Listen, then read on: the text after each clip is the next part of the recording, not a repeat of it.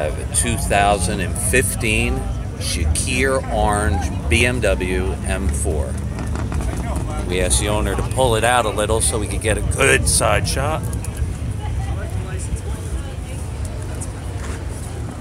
Audi versus Audi. YouTube loves that good side shot. At night this looks red, in the daytime it looks orange. It's a metallic orange. You get a little inside. Windows are a little too tinted. On the right side. Let's put a turbo, turbocharger on you for you.